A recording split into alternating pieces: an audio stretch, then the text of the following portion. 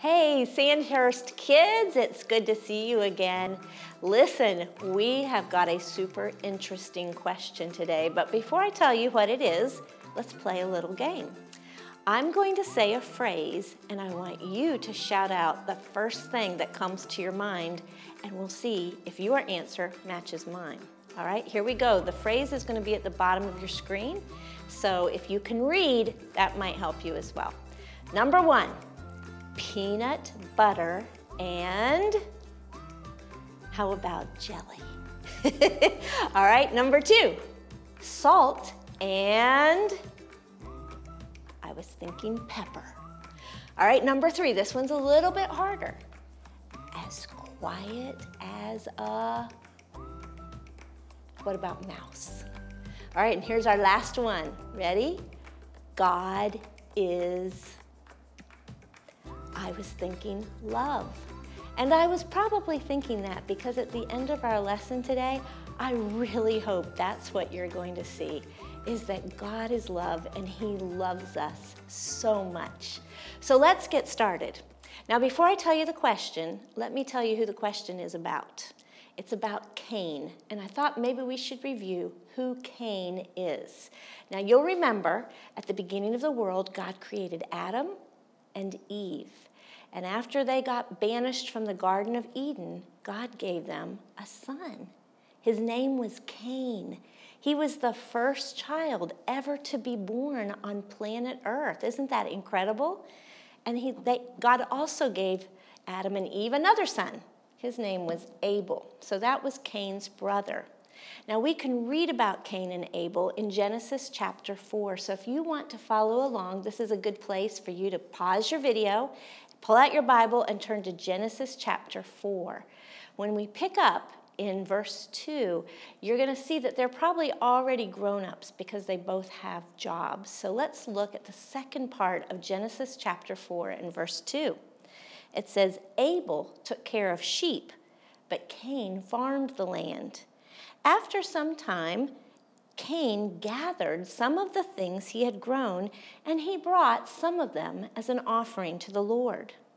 And Abel also brought an offering he brought the best parts of some of the animals from his flock.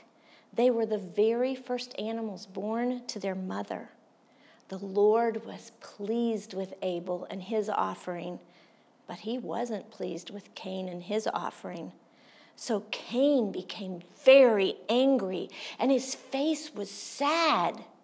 So, do you see what's happened? They both brought an offering to the Lord, but Abel carefully selected the very best of what he had to give to the Lord. And Cain just gave some of his things to the Lord. And so that's why the Lord was not pleased with Cain and his offering. And so Cain became so jealous of Abel. Look what he did next. It was something really awful. Skip down to verse 8. Cain said to his brother one day, Let's go out into the field. So they went out and there, Cain attacked his brother Abel and killed him. Did you hear that, boys and girls? He killed his brother Abel. Cain, the very first child born on planet Earth, also became the very first murderer. What do you suppose a good punishment for Cain would have been for murdering his brother? Doesn't it seem like he deserved death? that would have been his penalty if he had done that crime in South Carolina today. The penalty for murdering somebody is death. But I want you to see what penalty God gave him.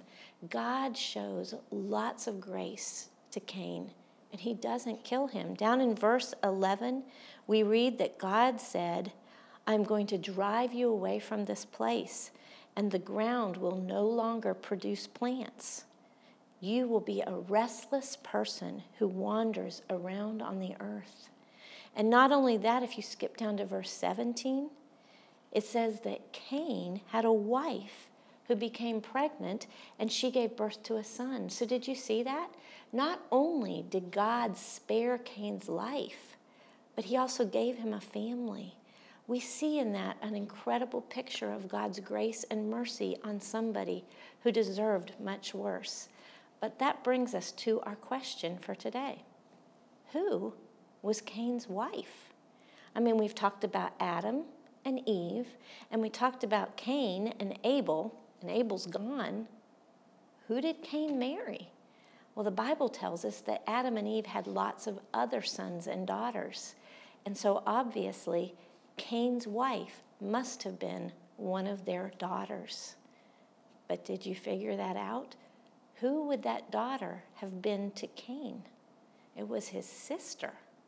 Ooh, lots of kids, when they've asked me that question and have gotten the answer in the past, have said, Ooh. You know why they reacted that way? Because nowadays it is actually against the law to marry a close relative like your brother or sister. But do you know it was not our government who thought of that rule first? It was God. If you flip over a few pages to the book of Leviticus, Leviticus 18, you can read that when Moses was up on the mountain with God, God is the one who first came up with that law. And many people believe the reason for that is that at that point in history, God knew that if close relatives get married, their children could be very unhealthy. And so God did it to protect people, He did it for their good.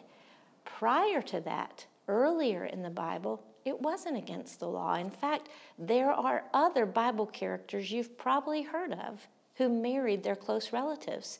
If you looked at Genesis chapter 20, you would see that Abraham married Sarah who was actually his half sister. And if you flipped over a few other chapters to Genesis 24 and read about Isaac, you would realize that Isaac married his cousin Rebekah. But it wasn't against the law then. But at the proper time, God made a rule to protect people. And so there are three things, boys and girls, I'd love for you to see about this story today. Number one, we see God's love for people. You know, we all deserve to die for our sins. But God is a God who loves to show us grace and mercy. You know, because of Jesus dying on the cross, he paid for all of our sins as he hung there. And so God can offer to us grace and mercy when we come to him instead of the punishment that we deserve.